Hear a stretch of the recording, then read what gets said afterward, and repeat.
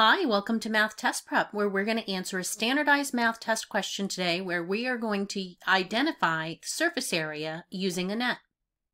A gift box is in the shape of a right triangular prism. The net of the gift box is shown. Which of the following expressions represents the total surface area in square inches of the gift box? So we first need to identify that we have this prism and it's got five faces three rectangular faces, and each rectangular face is found by doing area equals base times height.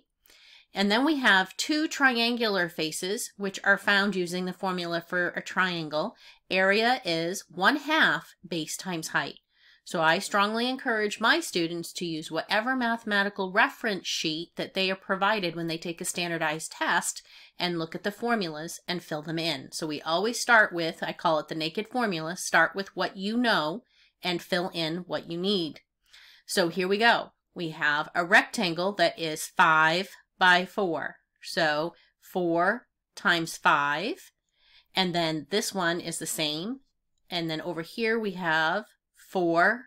See this length is 4, so each one of these is 4. And then we have a 4 by 6, and we have a 4 by 5. Then we're going to go identify the triangle, and we see that it's 1 half and our height and our base. So 4 by 6. Height of 4, base of 6. And that other triangle is identical. So now we need to go look at our answer choices. And when I do so, I look at these triangles right here and they say 4 by 4. So I'm already identifying that our two triangles are 1 half times 4 by 6. So I know it can't be that answer. It could be B, and it cannot be C because these are 4 by 5. So they've identified their base and height incorrectly. This is clearly marked 6, and a height is always perpendicular to a base, so 4 and 6.